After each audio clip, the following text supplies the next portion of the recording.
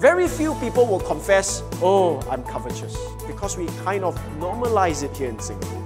We give euphemisms to covetousness. We say investment, we say planning for retirement, we say responsible stewardship. Well, these are euphemisms. In other words, nice ways to describe what perhaps is an evil heart of unbelief. That we must fight for every scrap and we must grab every excess so that I will take care of my own life. You know what? That's idolatry because yourself or your money has taken the place of God in your life.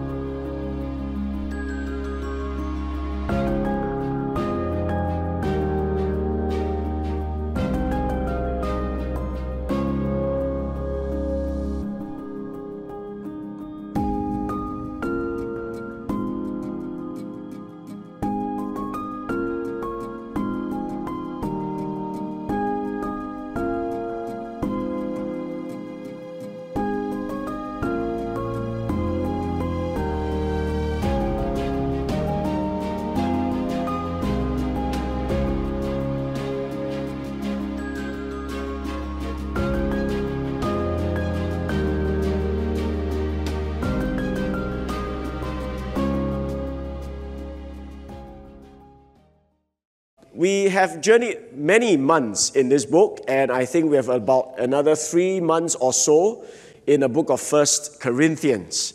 So we come to chapter 10 and verses 14 all the way actually to chapter 11 and verse 1. For those of you who are not or were not able to join us in the previous weeks and months, I just want to let you know that Paul is really dealing with the issue of idolatry from chapter 8 onwards. What's the issue here? Well, we are told that they were Christians, Corinthian churchgoers, who actually visit temples of idols and eat in those temples. And that is the problem that was highlighted in chapter 8 and verse 10. The people who go to the temples to eat food that has been offered to idols say that it's no big deal because they know that an idol has no real existence and that there is no God but one God, the God they worship. So they rationalize that this is quite okay. They can go to the temple and eat these foods that have been sacrificed to, those, to these false gods because they say it's nothing. We know that there is no real God there. They also say that they know that the food they eat does not commend them to God. Food does not make us worse off. These kinds of food does not make us worse off. Neither do they make us better off. It's quite neutral. So they say the idol is neutral, they say that the food is neutral, and therefore it's no big deal if we go to the idol's temple and eat. Paul then says, Not really. You guys have knowledge, but you are arrogant about your knowledge.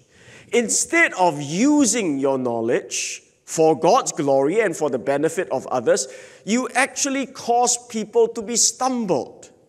You cause people who see you go to those temples to eat be tempted also to follow you likewise. The problem is, whilst you may know it's no big deal to yourself, to them, it may not be so because they are weak in their conscience. They are not so established in the truth and in the faith. And if they see you do it, they follow you likewise, they eat also of the food offered to idols, they will be tempted after a while to be drawn back to idolatry. So your knowledge makes you arrogant, you're puffed up. But what you lack is really love because real love builds up. Real love seeks to build up your brother spiritually and not stumble them or tear them down. So, as for me, Paul says in verse 13, I will never eat these food that have been offered to idols in the temples. Why? In case my brother sees me, follows me, and is stumbled in their faith and falls away from God. I'll never do it. In fact, Paul goes on to say, For the sake of others, I'm willing not only to give up eating food in these situations, I'm willing even to give up my rights to receive support from you. It is only right, Paul says, that as I preach the gospel to you, I will receive support from you. But even that I'm willing to give up so that none would have any barrier because of me with regards to the gospel. I do not want to lay any obstacle, but I want people to have a clear mind that the gospel is not a message preached in order to get rich. It's a message for their salvation. So I give up my rights for support, and I do that because it is important to me too. It's for, for my own spiritual assurance. For I do it all for the sake of the gospel, that I may share with them in its blessings, that I may be truly proven to be a partaker of this gospel as well. This willingness to give up this willingness to sacrifice, this willingness to serve is the best assurance that I'm a partaker of the gospel. In fact, if I'm not willing to give up my selfish appetites, if I'm not willing to give up my own fleshly desires, I may end up to be a cast away, a reject, and that's the word there in disqualified. So, Paul says, for all that reason, I will not eat of the food offered to idols. And I say to you, he writes to the Corinthians, if you have this attitude that you can be careless about eating food offered to idols, you've got to be very careful. Because you yourself actually may also be tempted into idolatry. He says, Therefore, let anyone who thinks that he stands take heed lest he fall. This careless attitude of yours is not helpful. You may be presumptuous. He raises the example of ancient Israel during the times of Moses. They were people who followed Moses.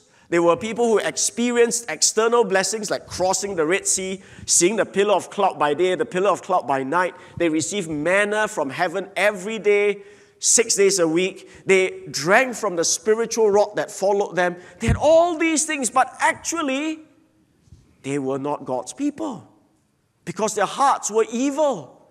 They were filled with unbelief. They repeatedly sinned against God, and God judged them and punished them, and their bodies were overthrown in the wilderness. So don't be presumptuous. Paul is saying if you continue to have such a careless attitude towards idolatry, towards sin, you may prove yourself to be like a hypocrite during the days of Moses, too. That's where we come to. Now, I summarized a few weeks' worth of sermon in uh, 10 minutes, so if you felt overwhelming, I, I can understand. But for those who have been with us, I hope that triggers some of the memories and the uh, spiritual learnings that we've had so that we can now come to verse 14, which is where we last stopped. Paul says, Therefore, my beloved, flee from idolatry. He now becomes crystal clear. Besides talking about the need to love others, about the need to keep on going on in sacrificing himself to prove to himself to have that assurance that he truly belongs to the gospel or in the gospel, he now says, actually, even though the idol is nothing, even though the food is nothing, the offering of this food to these idols is something. Let me say that again. Yes, the idol is nothing. It's a statue, it's a block of wood, it's a block of stone, it's nothing. There's no God there. And when you eat this food, it doesn't make you literally more spiritual or less spiritual. But when you offer this food to this idol, this act is something. This act is idolatry. This act is demonic worship. Oh, how do you get that? Well, that's what he's talking about in the verses to follow. He says, I speak as to sensible people. I, I trust that you guys got now. You got a brain. You can think. You can discern for yourself. I speak as to people who have the ability to, to think through the logic, judge for yourselves what I say.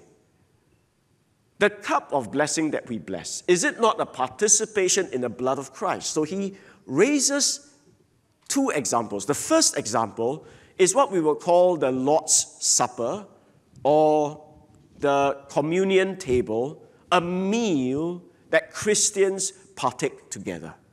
So, this is something I think I need to specify. In virtually most organized churches today, when we talk about the Lord's Supper, we talk about a wafer, a biscuit, a, a cracker, or in this COVID season, distribution of wafers, crackers, and cups to God's people in a worship service. But when you look at the context, for example, in 1 Corinthians, the Lord's Supper is not some ritual that we do in a church service, but the Lord's Supper is actually a proper meal. It's a fellowship meal.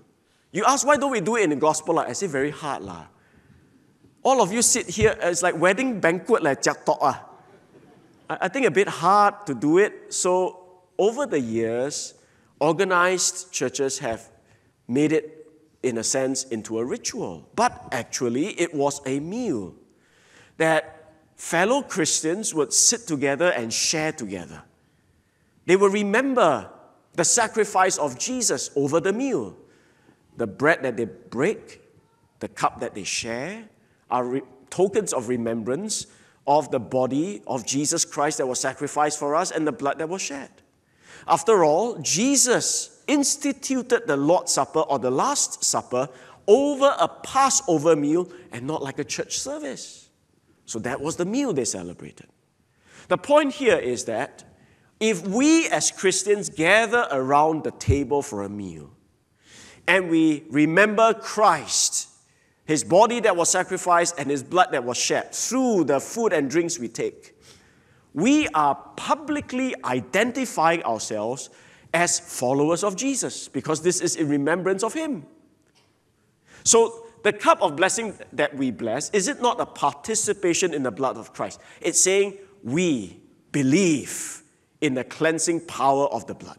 We are a people who belong to God because of the power of the blood of Jesus Christ.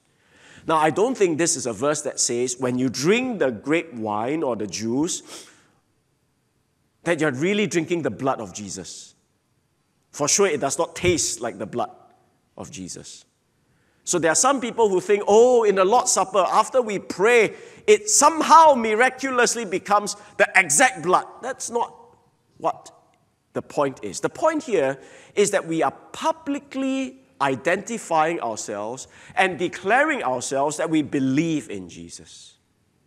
Same thing, the bread that we break, is it not a participation in the body of Christ? The idea here is public identification and declaration. We belong to Christ, we believe in Him, and we are together a church, a body who believes in him. Verse 17, because there is one bread, we who are many are one body, for we all partake of the one bread. So Paul is saying, hey, Food is nothing, the idol is nothing, but that eating of the food that has been offered to idols is something. Why? Think about our own Lord's Supper.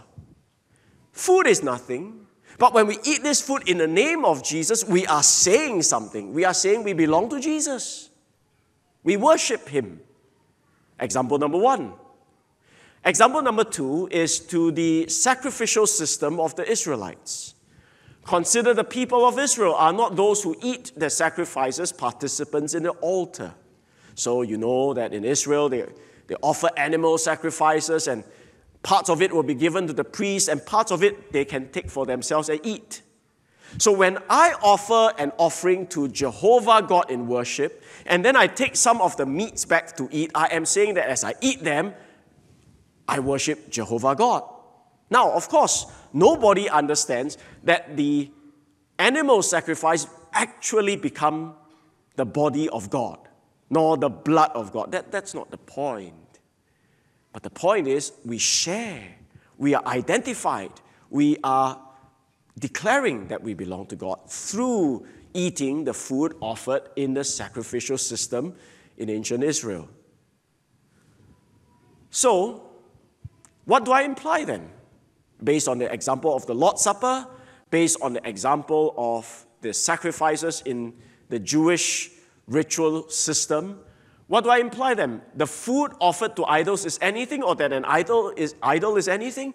He's asking again a rhetorical question. A question that the answer is very obvious. The answer is no, of course. I'm not saying that the food is anything. I'm not saying that the idol is anything, but that your act of taking this food that has been offered to idols is something.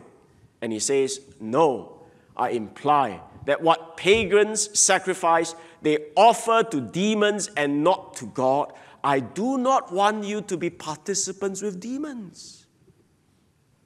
So, to Paul, eating this food that is neutral, that has been used to worship a block of wood that is neutral, this act of eating is not neutral. It is dangerous. To him, he's saying, he's, he's giving you the logic that this is participating in those who offer sacrifices to demons. And I do not want you to be a part of this. He probably was referencing Deuteronomy 32, not explicit but possible, where God says in verse 17, they sacrificed to demons that were no gods. So all the pagans, all those who do not know God, they are offering their offerings not to God, nor to gods, for there is only one God, but they are offering, therefore, to demons. And the problem is that earlier verse, they stirred him to jealousy with strange gods, with abominations, they provoked him to anger. You thought you were worshiping God, but you were actually worshiping demons. Paul is saying, therefore, in this case, food is nothing, Idol itself is nothing, but when you eat this food that has been offered to the idols, it is something you're offering to demons, and if you eat of it, you're participating with demons. How can this be so? It cannot be. If you are part of the church, you share in that Lord's Supper together, you cannot drink the cup of the Lord. Say, I believe in Jesus, I remember his death for me, I remember the blood that was shed. And then at the same time, drink of the cup of the demons. You, you can't do that. Neither can you partake of the table of the Lord and the table of demons. So, shall we provoke the Lord to jealousy? The Bible tells us over and over again that God is a jealous God because He guards His holiness, He guards the proper worship that man is due. And so he says, Shall we provoke the Lord to jealousy? Again, very reminiscent of Deuteronomy 32, which we have just read. And he says, Are we stronger than he? In the sense that, are you going to escape the judgment of God if you keep doing this? That is probably the best sense of, Are we stronger than he? How dare you do this? So, in a nutshell, let me summarize. Eating food offered to idols in the temple. The Corinthians say, Ah, we know it's nothing, it's no big deal. The food is nothing, the idol is nothing. We can do it, right? Paul says, no, not quite. First of all, you have to think about others. When you eat this, others whose conscience is, are not as established may be tempted to follow you and eat it too. But when they eat it, they jialat. When they eat it, they get troubled. When they eat it, they may be sucked back into idolatry. So just because you know doesn't mean you should. And that is what we said the last time. Just because I can doesn't mean I should do it, because I also need to add, I care. Knowledge puffs up, but love builds up. So you've got to think about others. It's not that you think it's nothing means you can do it. You've got to consider the people around you and not stumble them. In fact, you've got to think about how you are given over or not given over to your sensual, fleshly, indulgent appetites. Because if you continue in such a self centered orientation, it might mean you were never born again in the first place because the mark of the Christian is love. If anyone loves God, he is known of God. 1 Corinthians 8, verse 3, that's how he started off. So if you do not have any evidence of love, you might really be described as a castaway at the end of the day, a, a hypocrite. And then now he says, think about God. Don't you realize that when you eat this food that has been offered to idols, you are participating in demons and you're provoking God to wrath and to jealousy. So, why should you not eat food offered to idols? It's a three angle or three directional checklist. Think about others, think about your own soul, and of course, think about your God. So, he really, like a good lawyer, forces the Corinthians into a corner where, and they can't escape. In all three directions, this is proven wrong. So, I think it is a very conclusive response to their desire to eat food offered to idols. But there are still a few loose ends to tie up. What about eating idol food outside the temple? Tapao can or not? I don't eat there lah. Eat there got a lot of problem lah. People get stumbled lah and so on lah. Okay, okay, that tapao lah. No one knows can or not. What, why do you mean tapao? Well, because it is said that in those days, a lot of the meats that are sold in the meat markets were first offered to pagan gods. I mean, it's just killing two birds with one stone. Uh, you offer first, but you still can eat. Lah. So a lot of it is used to worship idols. Then it doesn't do anything to the the quality of the meat. You can still sell the meat well. Then they bring it out to the meat markets to be sold. So, can we eat the meat from the meat market? Do we have to check if this is, I wouldn't use the word halal, but is this not used for idol worship? Must I verify that? Must I check the brand and the manufacturer or the abattoir or butchery it comes from? Can we? That's one question. Can we eat in an unbeliever's house? What if your neighbor, who is not a Christian, invites you to his house? Can you eat there? Because his food probably is made from meats that have been taken from the meat market. For all you know, he might have even used it for his own worship. Can I eat in an unbeliever's house? And what if your, the host who invited you ask you here and then they say, hey, this one, uh, I just don't buy kueh. What do you do? Should you eat or should you not eat? So these are the loose ends to tie up. It's actually not very difficult to resolve, uh, but let me just say what Paul says he starts by laying a preamble. He starts by laying down a principle. He doesn't go into answering these specific questions yet, but he says this. He lays down this principle all things are lawful, but not all things are helpful. In a sense, the Bible doesn't say you can't, but not everything is helpful. You say helpful for what? Helpful for who? He says all things are lawful, but not all things build up. Okay? Helpful or build up with regards to who? He makes it clear in the next verse let no one seek his own good, but the good of his neighbor. So he's saying not all things are, all things are lawful for the Christian who is no more under the law, or specifically, no more under the condemnation of the law. Because of the gospel, he's free in Jesus Christ.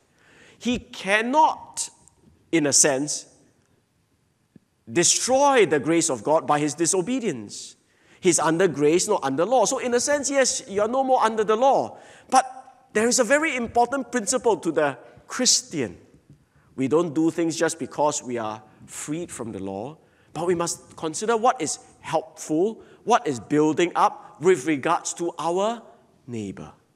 In other words, Paul lays down the principle of loving your neighbor. Now, whether you can eat meat offered or sold in the markets, whether you go to the unbeliever's house, you have to remember this principle. All right? Do things that consider loving your neighbor. And that's how he started, and that's how he ends in verse 33. It's like a bracket to kind of uh, encapsulate what he's going to say, the details in between. But the principle is we do not seek our own advantage, but that of many, the principle of love. And we have come a full circle. In chapter 8, verse 1, love builds up. So he's very consistent, Paul. Uh, he does not talk about one thing and then contradict himself. Uh, his motivation, his consideration is very uniform, very um, consistent. So I just want to say something before I answer the specifics, like how Paul answers the specifics. Uh, this phrase, all things are lawful, is uh, for those who have been with us in chapter 6, reminiscent, because that's the excuse the Corinthians say, what's wrong with visiting prostitutes? Remember? First Corinthians, I, I know you don't remember. It's uh, look at me with that kind of uh, look. I know it's, uh, did you? Uh, Check it out, 1 Corinthians chapter 6. The Corinthians have said, I'm no more under the condemnation of the law. So they actually use that as an excuse for prostitutions. Bizarre. So Paul knows that if that is their mindset, he better preempt this excuse again and say, Yeah, I, I know what you're going to say. All things are lawful. But don't forget the principle of love. All right? So, with that being said, can we eat meat sold in the meat market? Paul says, eat whatever is sold in the meat market. Hey! You should be thankful, right? Uh, Uh, without raising any question on the ground of conscience. So you don't need to go to store to store. Hey, this one pai bo. This one worship that before or not? I see this, I see that. Cannot. You, you can eat, you can buy, you can eat without asking any question. That's clear. The rationale, Paul says, is for the earth is the Lord's and the fullness thereof. Psalm 24, verse 1. He's saying that all these meats are given by God, they belong to God. And God is allowing His people to enjoy the rich produce that He has given in this world. So, do you need to ask? No need to ask. You want to ask, you can ask. Lah. Then you come by lah, yourself. But you can get away without asking. That's quite all right. What about my friend invite me to his house? He's not a Christian. Can I eat? Or do I have to ask? This one, what do you do with it? Ah? Not how you cook, no, but how you worship. No? How you wash or how you kill or whatever. You don't have to ask because it says if one of the unbelievers invites you to dinner, and you are disposed to go, eat whatever is set before you without raising any question on the ground of conscience. So I go to my relative's house, even during Chinese New Year. I don't ask them, hey, this one, how you cook? Has this been offered there? I don't ask these questions. I eat it. It's quite all right. Paul says so. But what if they tell you the food has been offered to idols? Well, this one, in your heart, you shake your head. Why? But if someone says to you, this has been offered in sacrifice, so they told you, huh? You did not ask, but they tell you, then do not eat it for the sake of the one who informed you and for the sake of conscience. Whose conscience? His conscience. I do not mean your conscience, but his. Then don't eat because now he knows that you know. This is the key thing. Before that, he may think you know, but he doesn't know you know. But now that he knows that you know, then you have to say no. All right? Because you do not want him to think that as a follower of Jesus, it's quite all right for you to partake of these foods that have been offered to idols. So I began this whole series by saying when I was growing up in my dad's place, sometimes there will be pak sam lying on the kitchen table. I would, even before the meal, lift up that, you know, that cover and sneak a piece of two or, two of the chicken before they come. But my helper would see me sometimes and say, hey, this one pai kueh. Why? Why? But I can't do anything. I just, oh, oh, okay, okay, I walked away. No choice. For whose sake? For the sake of her conscience. But I will not go to the temple to eat. I think that is clear. I think we therefore make a distinction between eating in the temple and tapawing. And the tapao answers, I think you can check it out from here. So that ends. Um, now, this is a difficult verse. This is a very difficult verse. For why should my, con- or my liberty be determined by someone else's conscience? It doesn't quite make sense no matter how you cut it if you link it with the preceding verse, verse 28 and 29a. It, you can't. I just can't find a way to harmonize that. So, the best way of understanding verse 29b is that this for does not connect to the immediate 28 and 29a, but to earlier references to eating. All right, maybe this makes it even clearer. If I partake with thankfulness, why am I denounced because of that which for which I give thanks? So the best way, you can go back and check it out. The best way to understand this verse is if this refers to how you can eat meat without asking, without troubled conscience. When it is sold in the meat markets, and when an unbeliever invites you to his house without telling you this is food offered to idols. In other words, I'm suggesting to you eating food or the meat sold in the meat markets and eating in an unbeliever's house that's fine. You don't have to ask. You don't have to raise a question on the ground of conscience. Because why should my liberty be determined by someone else's conscience if he doesn't know that I know? if I partake with thankfulness, what's wrong with it? Why am I being denounced? So the best way is to link this to verse 25 and verse 27. Of course, in verse 28, there's this insertion, but things are different, huh? If someone tells you. So that's the best way to approach, I think, verse 29b. So we come to the end. Whether therefore you eat or drink, or whatsoever you do, you do all to the glory of God. This is that major overriding principle for Paul's life. Of course, you can apply that to many instances in life, but that's an important general principle. Uh, again, I want to kind of grant you a, a, or lead you to think about how Paul is again being consistent when he dealt with sexual immorality. He says, glorify God with your body. Now, when it comes to eating food offered to idols, he's also saying, glorify God with your lives. Consistent. Give no offense to Jews or to Greeks or to the church of God, just as I try to please everyone in everything I do. Not that he's a man pleaser, but he does not want to lay any obstacle or offense before anyone, because this is my posture. I'm a servant. I do not seek my own advantage, but the advantage of many that they may be saved. He operates on very clear principles loving God, loving others. Super consistent. And now, verse 11, uh, chapter 11, verse 1, this is subject to the most unfortunate chapter division in our Bibles.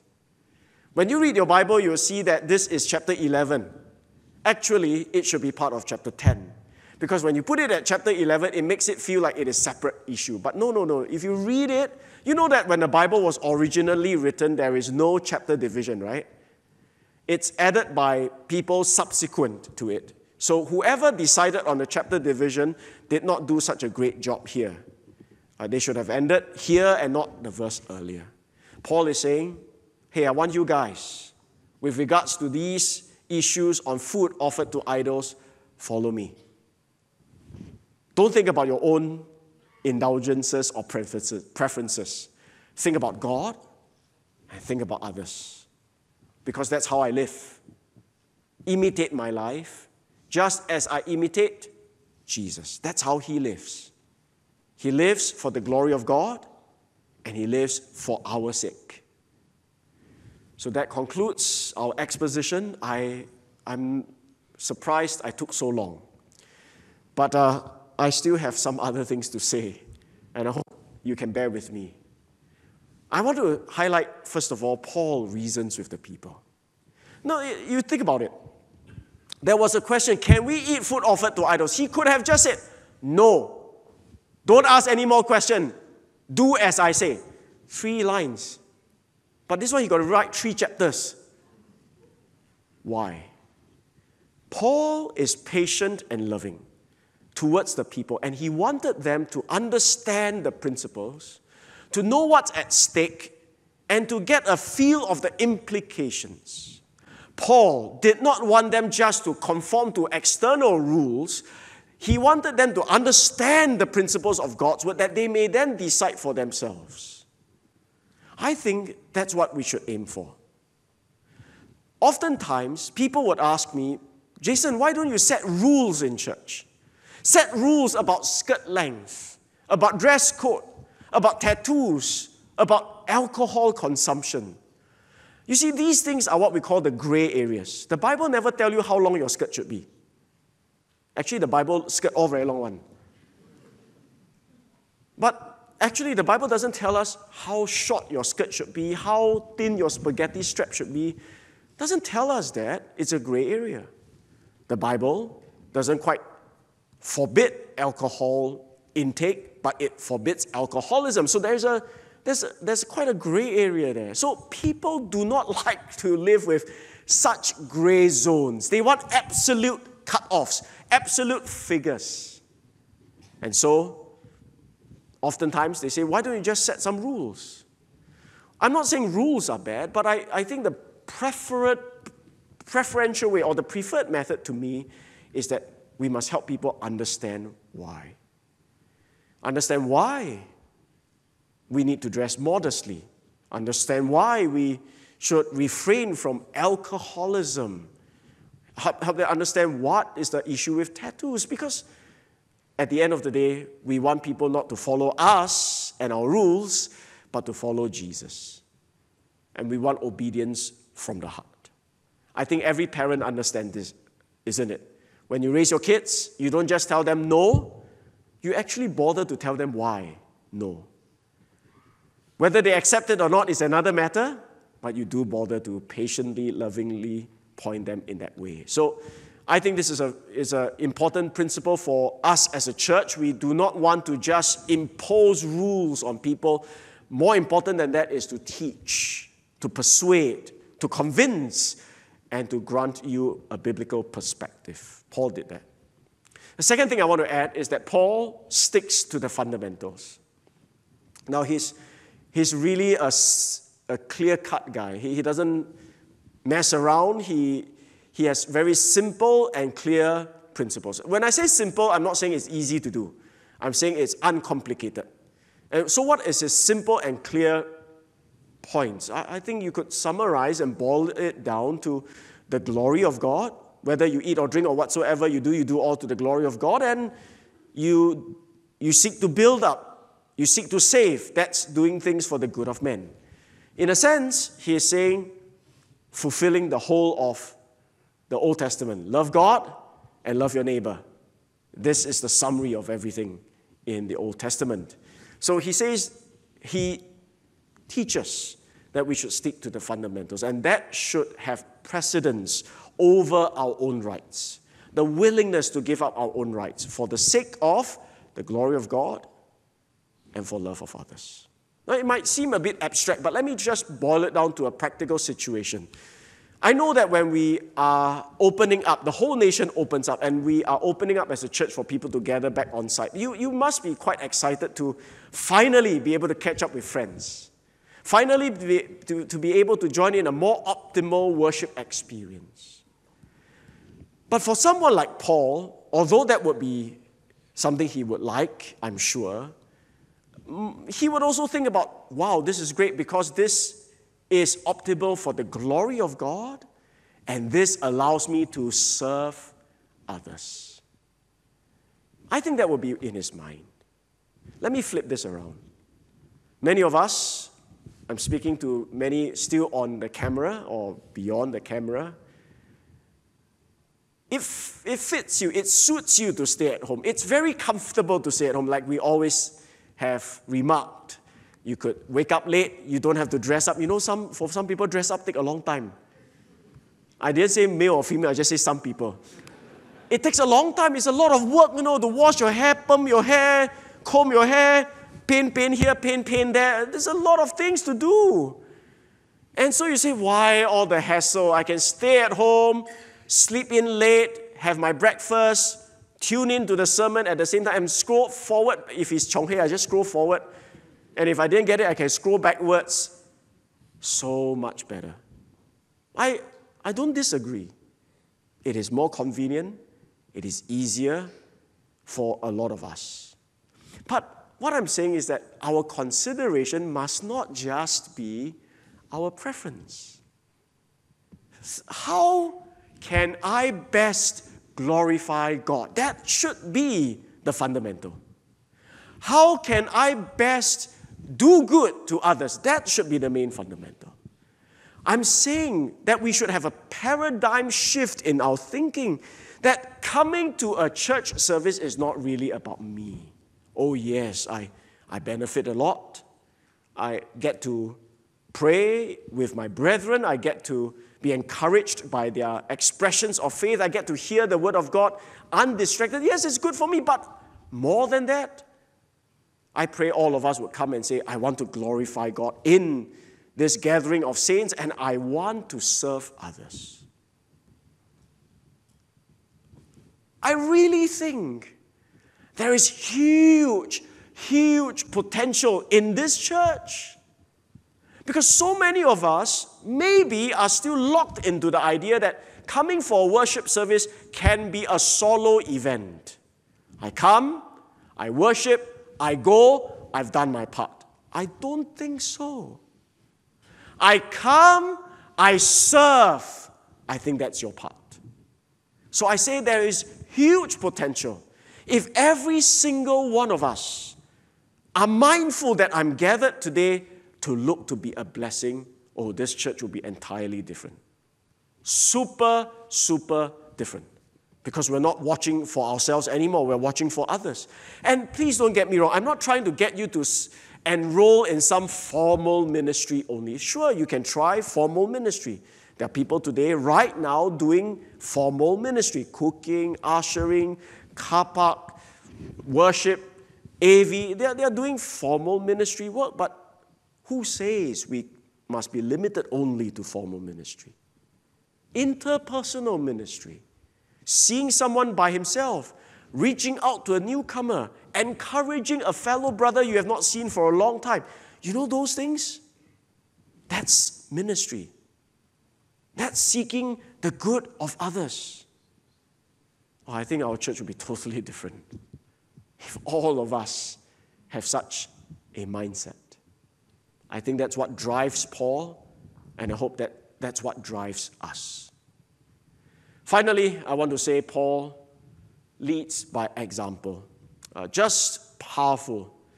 The, the, the main crux is of chapters 8 and 10 to 10 is not just that he was so sharp in his mind.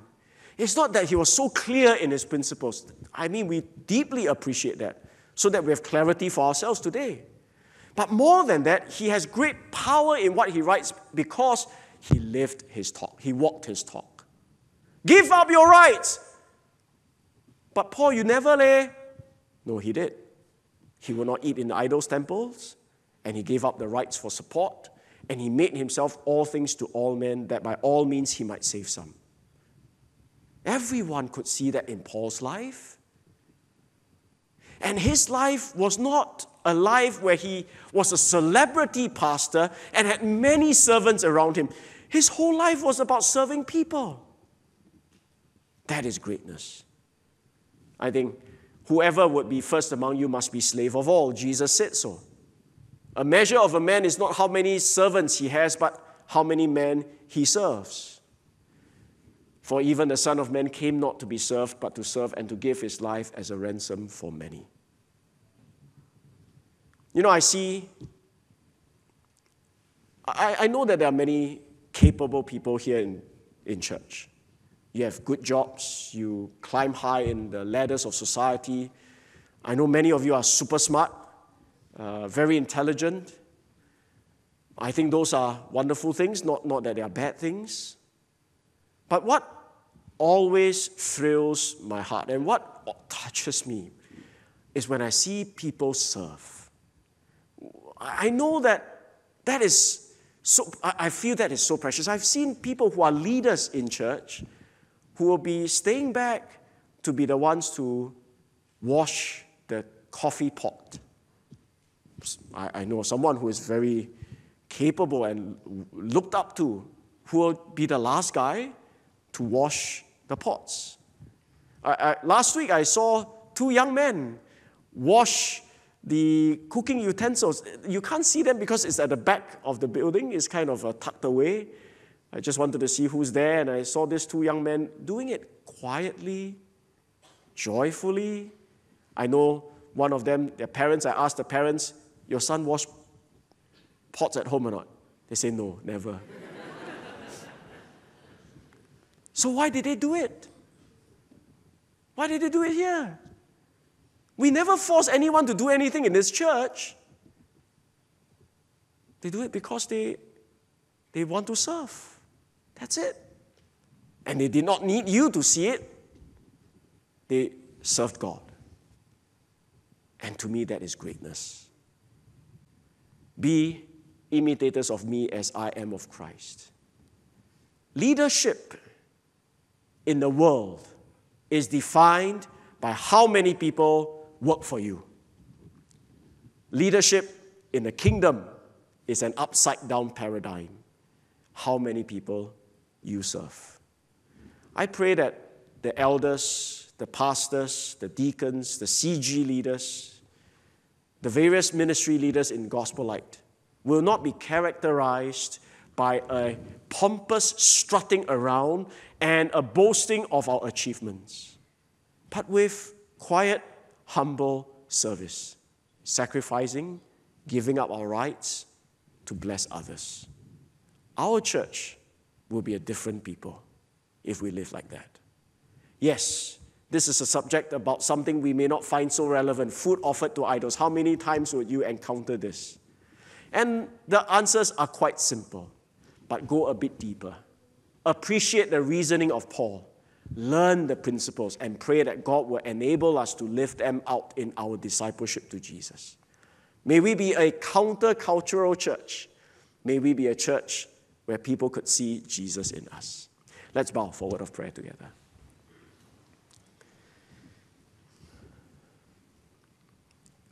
The most amazing statement here must be that the Son of Man came not to be served, but to serve, and to give his life a ransom for many. The Christian faith is not about a pompous God up there saying, Come, work, and deserve your way to reach me. But it's about a God who is willing to send his only Son. It's about God's Son who is willing to humble himself, empty himself of glory, to be born as man, that he might give his life for our benefit. Jesus gave up his life that you might find eternal life. That is servanthood, and that is greatness. And so I say to you, God does not conquer you with his power today, but I pray God will conquer you with his love. That your heart that is hardened against it, him will be softened, will melt in its resistance, and say, Thank you, God, for loving me and giving me your son. I pray today you will repent of your sin. You repent of your own self righteous works and depend on Jesus and his sacrifice alone. I pray today you would come to him by faith. Dear church, we may not meet these idol worship, food sacrifices situation often. But every day in our lives, we will be confronted with what are our fundamentals. Would it be our own rights? Or would it be the glory of God and the good of men? What would your life look like? I pray today, as we see Jesus love us, we will f- be filled with love and love as he loved. So, Father, thank you this morning we can hear your word. Bless the message to all our hearts, that we will not just be careless listeners, but be diligent doers too. Bless those who need to be saved with the knowledge of the gospel deep in their hearts. And thank you again for your Son, for what he has done for us. May Gospel Light be a true gospel light as we live out these countercultural truths. We thank you we pray all this in Jesus' name.